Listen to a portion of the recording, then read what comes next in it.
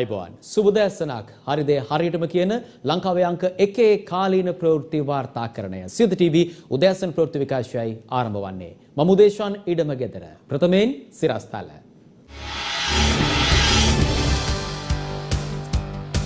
නැකත් සීට්ටුව සුබ නැකතින් ජනපතිට. අවුරුදු නෙවෙයි ජනතාවට මේ පාර කන්න වෙන්නේ. ජනතාවට ආණ්ඩුවයි අනුභව කරන්න වෙන්නේ. ජවි පෙන් චෝදනා.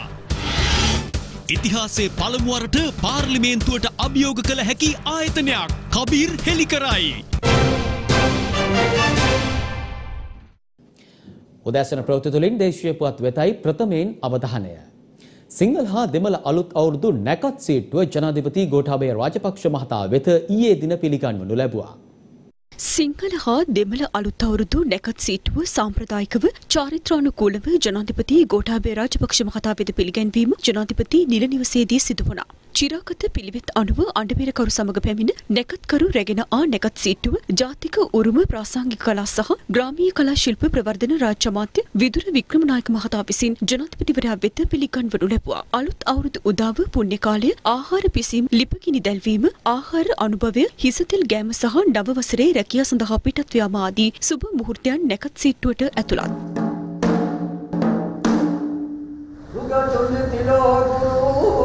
සුගතුන් තිලෝගුරු වදහලදම් අමායුරු. ඔබතුමන්ට සුබ අලුත් අවුරුද්දක් වේවා. බුද්ධ ශාසන ආගමික සහ සංස්කෘතික කටයුතු අමාත්‍යංශයේ ලේකම් මහාචාර්ය කපිල ගුණවර්ධන ජාතික උරුම ප්‍රාසංගික කලා සහ ග්‍රාමීය කලාශිල්ප ප්‍රවර්ධන කටයුතු රාජ්‍ය අමාත්‍යංශයේ ලේකම් නිශාන්ති ජයසිංහ සංස්කෘතික කටයුතු අධ්‍යක්ෂ තරණි අනෝජා ගමගේ යන මහත්ම මහත්මීන් ඇතුළු පිරිසක් මෙම අවස්ථාවට එක්ව සිටියා. පාස්කු ප්‍රහාරයේ මහ මොලකරුවන් දෙදෙනෙකු පිළිබඳව මේ වන විට තොරතුරු තහවුරු වී ඇති බව අමාත්‍ය සරත් වීරසේකර මහතා පැවසුවා. පාස්කු කොමිසන් වාර්තා නිර්දේශ සලකා බැලීම සඳහා පත් කළ අමාත්‍ය මණ්ඩල අනු කමිටුවේ වාර්තාව පිළිබඳව මාධ්‍ය දැනුවත් කිරීම සඳහා ඊයේ පැවති විශේෂ මාධ්‍ය හමුවකදී අමාත්‍යවරයා මේ බව සඳහන් කර සිටියා. මහමලකරු කවුද කියන එක දැන්ටමත් අපි තෝරාගෙන ඉවරයි. ඒ කියන්නේ දැනගෙන ඉවරයි. ਉਹ තමයි අර නවුෆර් මෞලව කියන එක කෙනා. සහ හජ්ජුර් රක්බාර් කියන එක. නවුෆර් මෞලව කිතුමා තමයි අර බග්ඩාඩි කියන එක කෙනා 2014 දී තමයි IS මතවාදය ගෙනාවේ. ඉරාකේ ඔහුත් සමග එකතු වෙලා මේ මතවාදයට ඇතුළු වෙන්නේ ඒව. එයා තමයි. ඒ නවුෆර් මෞලවි තමයි සාරානුගෙත් මොළ සෝදනය කරලා කළේ. සාරාන් මේකට සම්බන්ධ වුණේ 2016 දී. මේ නවුෆර් මෞලවි තමයි 2014 දී මේ බග්ඩාඩි සමග එකතු වෙලා මේ IS මතවාදය ලංකාවට ගෙනාවේ කැලිෆේට් රාජ්‍යය කියන්නේ ඉස්ලාම් රාජ්‍ය සඳහා. ඔහු දැන් ඉන්නේ රිමාන්ඩ් භාරයේ. ඔහුත් අර 32ට අයිති වෙනවා. එතකොට මහමලුකරු හැටියට අපි අඳුරන්නේ අපි පොලිසිය අඳුනාගෙන තියෙන්නේ ඒ නවුෆර් මෞලවි සහ අර හජ්ජු රබ්බා සහරාර් කියන ජමාතේ ඉස්ලාම් ඒ සංවිධානය එක්කන එයත් ඒ මතවාදීන් එක්කෙනෙක්. එතකොට සහරාන්ලා මරාගෙන මැරුණා මේ සම්බන්ධයෙන් හඟවන්නට අපිට කිසිම අවස්ථාවක් නැහැ. දැනටමත් 32 දෙනෙක්ට විරුද්ධව නඩු පැවරීම සඳහා උදුරුගොනු අපි යොමු කරලා තියෙනවා. ඉතින් ඒ වගේම තමයි දැනට 211ක් රිමාන්ඩ් භාරයේ ඉන්නවා. 75 දෙනෙක් දීර්ඝ කල රැඳවුණු නියෝග මත රඳවාගෙන ඉන්නවා. ඉතින් අර 211 තුල තමයි 32 ඉන්න අර 75 දෙනාගෙනුත් බොහෝ දුරට ඉදිරියේදී නඩු පැවරීම සඳහා සාක්ෂි සාක්ෂි ගොනු කළාට පස්සේ අපි නීතිපතිතුමා වෙත යොමු කරනවා. දැනට ඊට අමතරව මහමල කරු කියලා ඉතින් අපිට කවුරුත් හඳුනාගෙන නැහැ. හඳුනා ගන්නවා නම් විමර්ශන කටයුතු මම කිව්වා වගේ හැමතිස්සෙම කරගෙන යනවා. ඒක කවදාකවත් නවතින්නේ නැහැ. ඉදිරියේදී අපි තවත් සැකකරුවෝ අල්ලගත්තොත් දැන් මේ පෙරේදත් අපි දෙන්නේ තුන් දෙනෙක් තවත් සැකකරුවෝ අත්අඩංගුවට ගත්තා. ඔවුන්ට විරුද්ධවත් අපි කටයුතු කරනවා. අබුහින් සහ සාරා ජෙස්මින් සම්බන්ධයෙන් මේ වෙද්දි තිබෙන විමර්ශනවල නවතම තත්ත්වය මොකද්ද? සාරා කියන කෙනා මැරුණාද නැද්ද කියලා අපිට තාම කියන්න බෑ. මොකද පළවෙනි එකේ DNA ප්‍රතිඵල වලින් ඒක සනාතුනේ නැහැ. නමුත් මේ ශරීර කොටස් තියෙන්නේ. පළවෙනි DNA පරීක්ෂණයේදී සාරා ජෙස්මින් මැරුණ නැහැ කියන එක සනාත වෙලා තියෙනවා. මොකද නෑ නෑ පළවෙනි DNA පරීක්ෂණයේ ශරීර කොටස් ගෙනල්ලා සාරාගේ මවගේ DNA සහ මේ DNA සමග සංසන්දනය කළා. ඒක සැසඳුනේ නැහැ. සාරා මැරිලා නැත්තම් අපි රෙඩ් නෝටිස් යවනවා ඉන්ටර්පෝල් එක හරහා ඒක ප්‍රශ්නයක් නැහැ.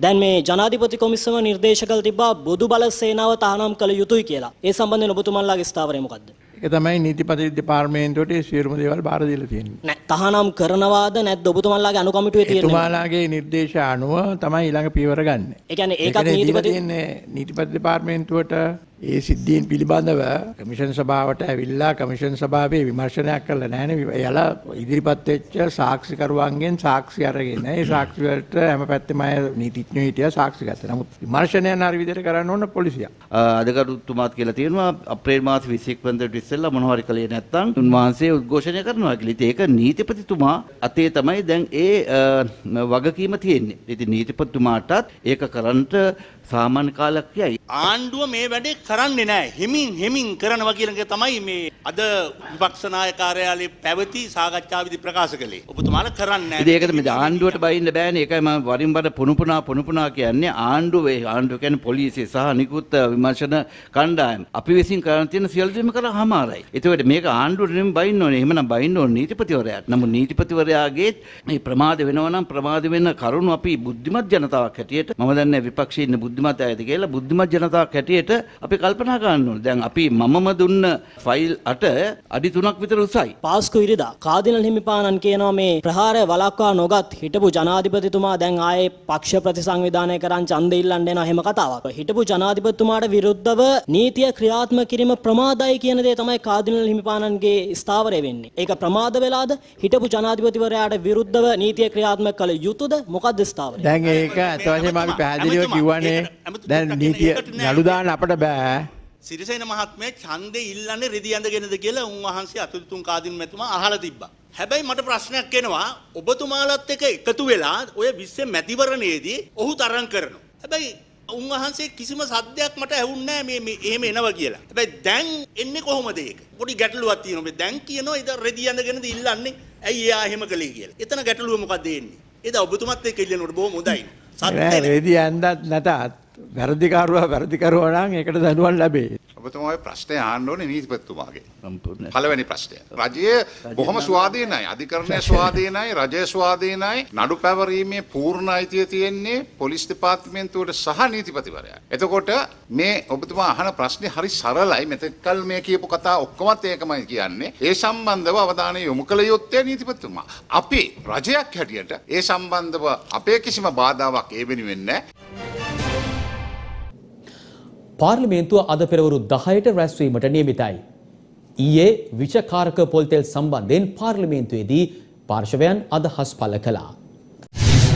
තමුන්නාසල එහෙනම් පැහැදිලිව කියන්න මේ රටේ ප්‍රතිපත්තියක් ලෙස සමගි බලවේගය මේ රටේ පෞද්ගලිකංශයේ සියලුම ව්‍යාපාරිකයන්ට එරෙහිව තමයි කටයුතු කරන්න කියලා කියන්නේ. එම මේ රටේ ස්වජාතික ව්‍යාපාර වලට ගහන්න එපා. බහුජාතික සමාගම් වල පැත්තේ ඉඳන් ස්වජාතික ව්‍යාපාරිකයන්ට ගහන්න එපා. එමෙ වැරද්දක් කරලා තියන අයට දඬුවම් දෙමු. නිර්වැද්දේ ඉන්න මේ රටේ ජාතික ව්‍යාපාර ආරක්ෂා කරලා ජාතික ආර්ථිකය ආරක්ෂා කරන පැත්තේ හිටගන්න කියන ආයතනයේ මම කරමින් මගේ වචන ටික අවසන් අපි අහපු ප්‍රශ්නයට පැහැදිලි උත්තරයක් දුන්න එතුමා කතාවක් ගැතුවා මේ අපි ශ්‍රී ලාංකීය අ, ස්වජාතික සමාගම් වලට විරුද්ධයි කියලා. ඒක සම්පූර්ණයෙන්ම වැරදි. අපි මේ කතා කරන්නේ මිනිස්සුන්ගේ ජීවිතත් එක්ක තියෙන ප්‍රශ්නයක් පිළිබඳව. පිළිකා කාරක පොල්තෙල් සහ පොල්තෙල් ආදේශක වෙළඳ පොළට නිකුත් වෙලා තිබෙනවද නැද්ද කියනකොට එතුමා කිව්වා නැහැයි කියලා. දැන් එතුමා කියනවා ඒක එතුමා කිව්වේ නිලධාරීන්ගේ උපදෙස් පරිදි කියලා. එතුමාට වැරදි උපදෙස් ලබා දුන්නු ඒ නිලධාරීන්ට ගන්න පියවර මොකක්ද? ප්‍රමිති ආයතනයේ ප්‍රධානියා බොහොම පැහැදිලිව මාධ්‍ය වලට ප්‍රකාශ කරලා තියෙනවා. වැඩිය මේක ගැන කතා කරන්න බෑ. කතා කරන්නත් එපා. එහෙම කතා කරොත් ඒවා එක එක සමාගම් වලට බලපානවා. දැන් මේ රටේ ජනතාවගේ සෞඛ්‍ය බහුජාතික සමාගම් වලට එක එක ලොකු ලොකු සල්ලිකාර සමාගම් වලට යටත් කරලාද කියලා මං අහන්න කැමතියි. මොකද්ද මේ විහිළුව? එතුමා බොහොම පැහැදිලිව කිව්වා පිළිකා කාරක විස පොල්තෙල් වෙළඳ පොළට නිකුත් වෙලා නැtei කියලා. ඒකද අමූලික පට්ටපල් බොරුවක් බවට පත් වෙලා තිබෙනවා. රේගු දෙපාර්තමේන්තුව විසින් කරන දේ පිළිබඳ ඇමතිවරයෙක් කියලවෙල්ලා මෙහෙම දේශපාලන වශයෙන් විධාන නිකුත් කරන්න යනවා නම් අපිට අයිති නැති අමාත්‍යාංශයකට මේ රට ඒ ඒ කාලෙදි නම් එහෙම කරලා තියෙනවා. දැනටත් කිසි තැනක ඔප්පු වෙලා නැහැ. මේ රට ඇතුලේ තිබෙන පොල්තෙල් වල විෂකාරක තියෙනවා කියලා. අපි දන්න විදියට අපි කරලා තියෙනවා. සාම්පල් අරගෙන පරීක්ෂා කරලා තියෙනවා. ඒවා නැහැ කියලා තියෙනවා. නැති එකක් තියෙනවා කියලා කියන්න පුළුවන් කමක් අපිට නැහැ.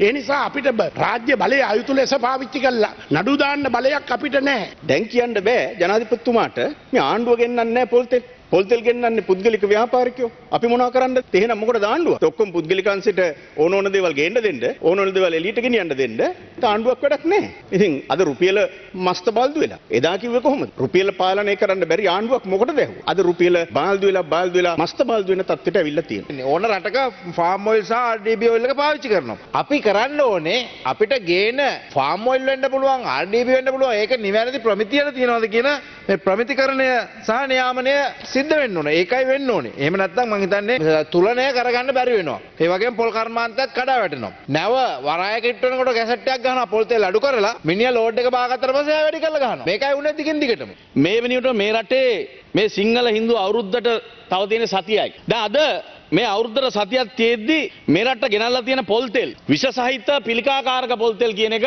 අද පරීක්ෂණ ගණනාවකින් ඔප්පු වෙලා තියෙනවා. දැන් මේ වෙනකොට ආණ්ඩු පක්ෂයේ ඉන්න മന്ത്രിතුමාලා ගොඩක් දෙනෙක් මේවා ජනතාවගේ පැත්තෙන් කතා නොකරුවත් മന്ത്രിවරු කීප දෙනෙක් දැන් කතා කරනවා ජනතාවගේ පැත්තේ ඉඳලා. මෙවැනි බාණ්ඩ කීපයක් පිළිබඳව රාජ්‍ය ආයතන ආයතන අතර නිර්ණායකයන් පිළිබඳව ප්‍රශ්නයක් තිබෙනවා. දැන් ඒ අනුව සෞඛ්‍ය අමාත්‍යංශය මේ සියලු මාංශ ඒකාබද්ධ කරලා අවසාන වශයෙන් පාරිභෝගිකයාට අහිතකර නොවන ආකාරයට මොනවද මේ තිබෙන නිර්ණායක කියලා දැන් කෙටුම්පත් සකස් කරමින් පවතිනවා. ඉතින් මේක අඩුවක් කියන එක අපි පිළිගත යුතුයි. අයි ප්‍රමිති ආයතනය කියන පොල් තෙල් වල තියෙන්න පුළුවන් 10යි කියලා සෞඛ්‍ය අමාත්‍යංශය කියන 30යි කියලා. අපේ රටේ කිසිදු දේශපාලන පක්ෂයක කෙනෙක් මං හිතන්නේ කැමති වෙන්නේ නැහැ හිතාමතා පාරිභෝගික ජනතාවට මෙවැනි දේවල් කවන්න බලාපොරොත්තු. තවමත් මේ පිළිකාකාරක පොල්තෙල් රට තුළට ගෙන්වීම සිදුවෙන බවටත් අනාවරණය වෙනවා. ඒ අස්සේ මේ ප්‍රමිති ආයතනයේ විශේභාරව තිබෙන්නේ ජනාධිපතිතුමාටමයි. ජනාධිපතිතුමා කියනවා අපි නෙවෙයි පොල්තෙල් ගේන්නේ ව්‍යාපාරිකවනේ ඒක කරන්න කියලා. රජය මොනවා කරන්නද ඒකට කියලා. මං අහනවා එහෙම අහන්නද 60ම ලක්ෂයක් ඡන්දෙ දීලා ජනාධිපතිවරයෙක් පත් කරගත්තේ. සෞඛ්‍ය අමාත්‍යංශය කියන එකද හරි මේ පොල් සංවර්ධන අධිකාරිය කියන එකද හරි කියන එක ප්‍රශ්නයක් ඒක ජනතාව දැනුවත් කර යුතුවක් වෙනවා. මොකද දැන් නැත්තම් එළියට ගිහිල්ලා තියෙනවා. මොකද පොල් සංවර්ධන අධිකාරිය කියන්නේ පොල් තෙල් අංශු මිලියනයකට ඒ තියෙන ප්‍රමාණය 10%ට වඩා අඩු විය යුතුයි කියලා. විශ්ව පොල්තෙල් සහ රටේ ආහාර සංස්කෘතිය මෙන්ම වත්මන් දේශපාලනික තත්ත්වය පිළිබඳව ජනතා විමුක්ති පෙරමුණේ නියෝජිතයින් මෙලෙස අදහස් පළ කළා. කනබොන දේවල් වලට වස මිශ්‍ර කරන්නේ නැහැ කියන සංස්කෘතියක් අපිට තිබුණා. කනබොන දේවල් පිරිසිදු ලබා දෙන සංස්කෘතියක් අපිට තිබුණේ. අපි කනබොන දේවල් වලට වස මිශ්‍ර කරනවා කියන එක මහා පාප කර්මයක් ලෙස අපිට සංස්කෘතියක් ගොඩනැගිලා තිබුණා. මොනව නැතත් කනබොන දේ සතුරට උනස් පිරිසිදු දෙන්න ඕන කියලා මතයක් අපිට තිබුණා. හැබැයි අද මොකද වෙලා තිබෙන්නේ? මේ තරඟයේ විශ්ව මොකද කරලා තිබෙන්නේ? තරඟේ යොමු කරලා තිබෙන්නේ ලාභයට. ලාභය නම් බාලබඩු. අර ප්‍රමිති ආයතනයේ ප්‍රධාන අධ්‍යක්ෂ ජනරාල්තුමා. එතුමිය මාධ්‍ය සාකච්ඡාවක් පවත්වනකොට කියනවා විස පොල්තෙල් ගෙනාවද? ඔව්. පරීක්ෂණ කරාද? ඔව්. තව තියෙනවද? ඔව්. මොනවද තියෙන්නේ? ඒවා කියන්න බෑ. ඒවා තහනම් කරනවද? දැම්ම තහනම් කරන්න බෑ. ටික කාලයක් ආපු ගාව. ඒ මොරු වැඩ. එයි. එයාර සමාගම් පැත්ත වෙනුවෙන් පෙනී හිටිනවා. දැන් පොදු ජනතාවගේ පැවැත්ම අහෝසි කරනවා ආයතන පද්ධතියේ රැකවරණය. කීයෙන් කී දෙනාද 80 වැඩි මැරෙන්නේ. ඉතාමත් අඩු ප්‍රමාණයක්. අපේ වයසයි අපිට බාලයි කොතර මියනවද? අපේ ජීවිත ජීවිත නෙමෙයිද? ඔවුන්ගේ ජීවිත විතර ජීවිත. ඒ නිසා මෙතන ප්‍රශ්නයක් නැද්ද? පහළ පන්තියේ මිනිසුන්ට මරණය උරුම කළද සමාජය? මේ තරඟකාරීත්වය විසින් අපිට උරුම කොට දී තිබෙන්නේ මරණය පමණයි.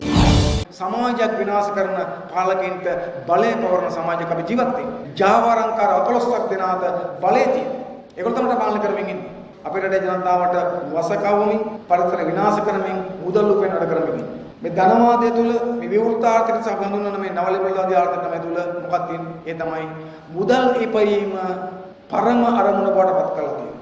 උපයන්නේ කොහොමද කියන එක අදාළ ලාභය නම් ජීවිතේ එකම අරමුණ එවෙන රටකට පවතින්න බෑ.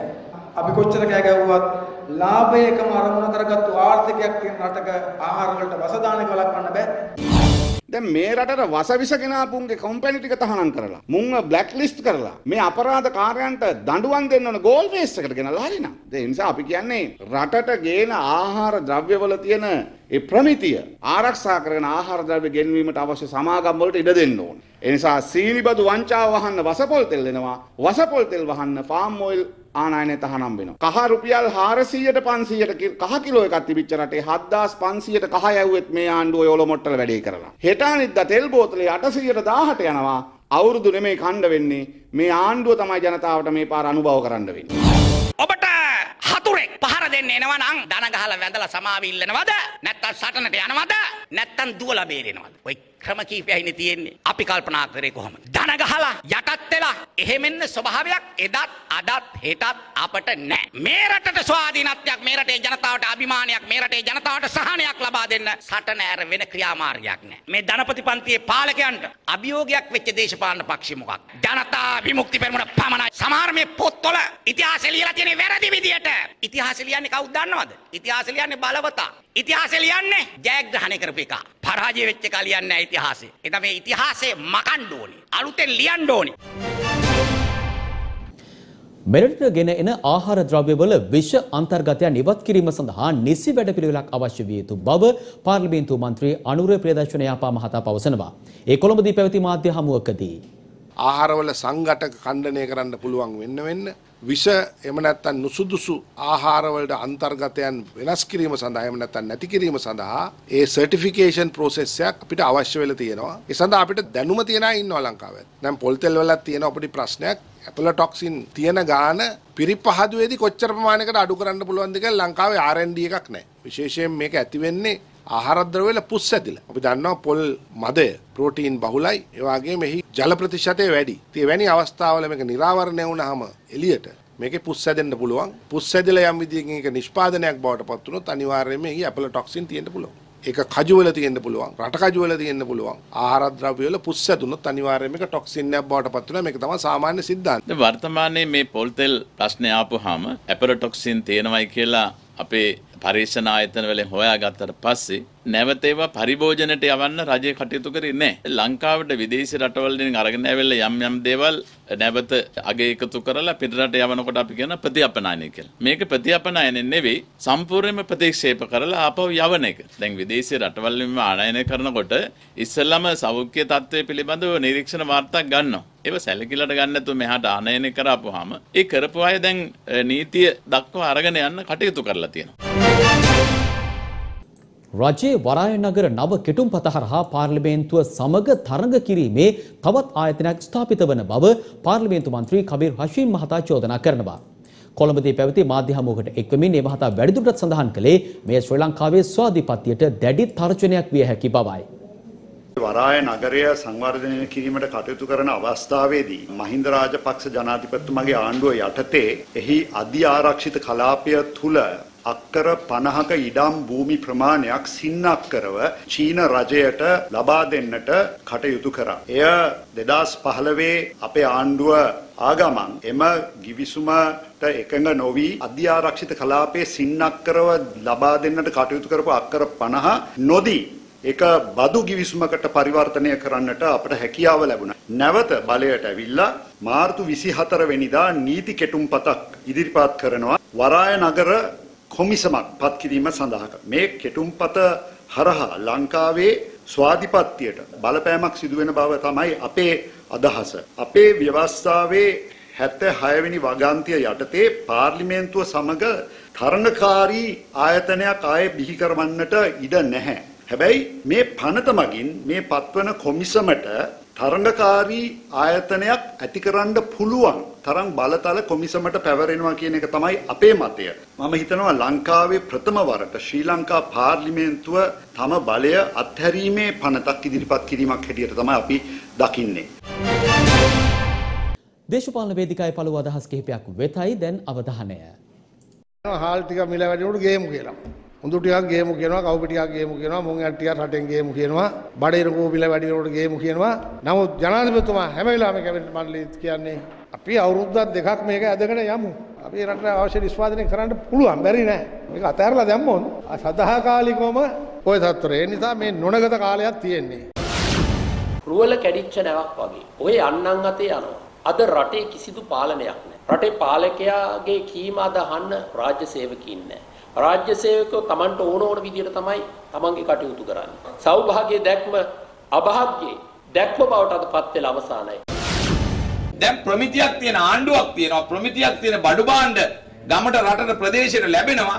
ලැබෙද්දි මෙන්න ගහනවා වෙන වෙන කුමන්ත්‍රණ. ගෝඨාභය මහත්තයා කරපු දෙයක් නැහැ ආණ්ඩුව කරපු දෙයක් නැහැ දෙන්නම් අපි ඊළඟට තව එකෙකුට කියනවා. අර බෙල්ලේ අමාරුවට නැත්තම් ඔළුවේ අමාරුවට කොට්ටේ මාරු කරනවා වගේ ආණ්ඩු මාරු කරන්න ගියොත් මං හිතන්නේ මේ රට ජීවිතයට හදන්න වෙන්නේ.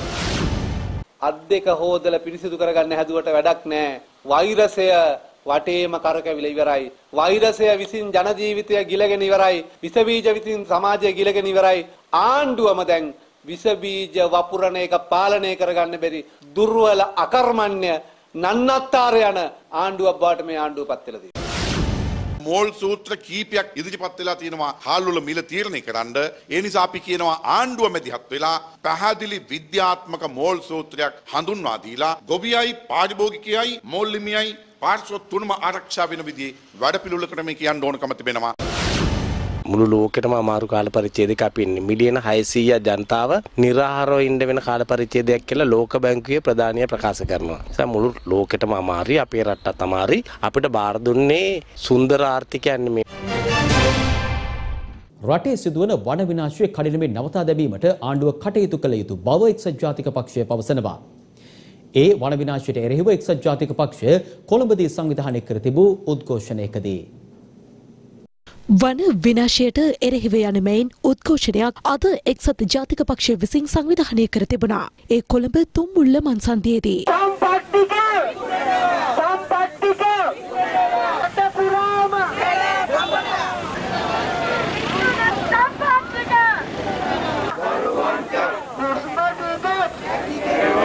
මෙම අවස්ථාවට එක්සත් ජාතික පක්ෂ නියෝජ්‍ය නායක රුවන් විජේවර්ධන මහතා ඇතුළු පිරිසක් එක්ව සිටියා. අද මේ රජය මේ කිසිවක් ගණන් ගන්න නැතුව මේ රටේ මූලික නීතිය කඩ කරමින් කටයුතු කරනවා. මේ රාජපක්ෂ ආණ්ඩුව අද විනාශය කරා ගෙනියනවා. අපිට තියෙන ජාති ජාතික උරුමයන් අපිට හුස්ම ගන්න තියෙන අයිතිය නැති කරමින් යනවා. මේ රජය ජනතාව ගුණාට අන්දමින් ජාතිය විකුණමින් ජාතිය උරුමයන් විනාශ කරමින් යන ගමනට අපි විරුද්ධව කටයුතු කරනවා. සිංහ රාජ්‍ය ඇතුලේ තියෙන ජල සම්පත චීනයට දෙන්න හදන්නේ. නන්දසේන ආණ්ඩුවට කියනවා මේ රටේ ජනතාවගේ සම්පත්.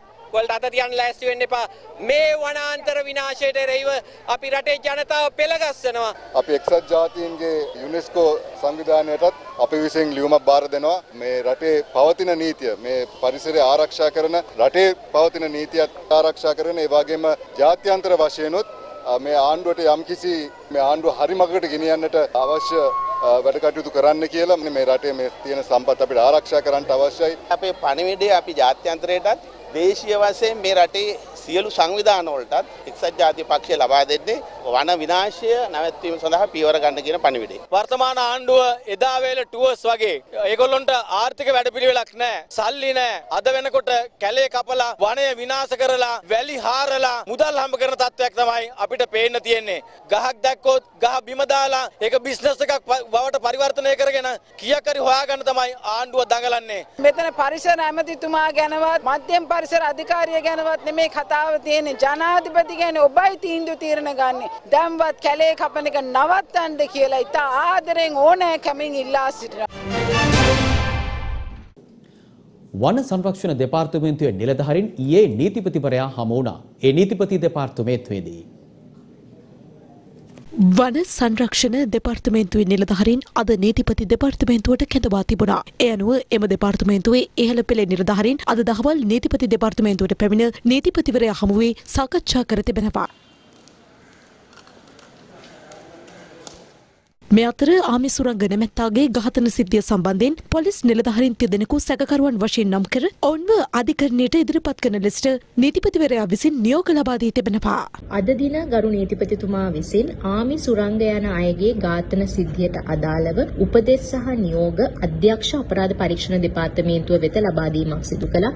ඒ අනුව පොලිස් පරීක්ෂක ලසන්ත රත්නායක, උප පොලිස් පරීක්ෂක ඒඩ්‍රියන් නිශාන්ත සිල්වා, පොලිස් කොස්තාපල් 324යි 84 ප්‍රේම කුමාර යන නිලධාරීන් සැකකරුවන් වශයෙන් නම් කර ඇඹිලිපිටිය මහේස්ත්‍රාත් අධිකරණයේ මූලික පරීක්ෂණයක් පැවැත්වීමට බැලු බැල්මට ප්‍රමාණවත් සාක්ෂි අනාවරණය වී ඇති බවට උපදෙස් ලබා දීමක් සිදු කළා. එසේම පොලිස් පරීක්ෂක ලසන්ත රත්නායක, උප පොලිස් පරීක්ෂක ඒඩ්‍රිය නිශාන්ත සිල්වා, පොලිස් කොස්තාපල් 324යි 84 ප්‍රේම කුමාර යන සියලුම නිලධාරීන් සැකකරුවන් වශයෙන් නම් කර අපරාධ නඩු විධාන සංග්‍රහයේ ප්‍රතිපාදන යටතේ කටයුතු කරමින් ඔවුන්ගේ ප්‍රකාශ සටහන් කළ අදාළ අධිකරණයට කරුණු වාර්තා කරමින් ඔවුන් අධිකරණයට ඉදිරිපත් කිරීමට පියවර ගන්නා ලෙසට ගරු නීතිපතිතුමා විසින් වැඩි දුරටත් නියෝග කිරීමක් සිදු කරනු ලැබුවා.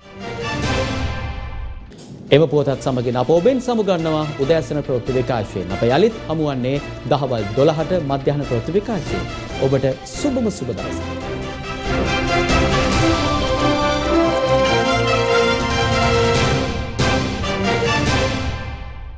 දෙනපතා අලුත් වීඩියෝ සහ ප්‍රවෘත්ති නැරඹීමට ඉහත බටන එක ක්ලික් කර සියත TV සබස්ක්‍රයිබ් කරන්න.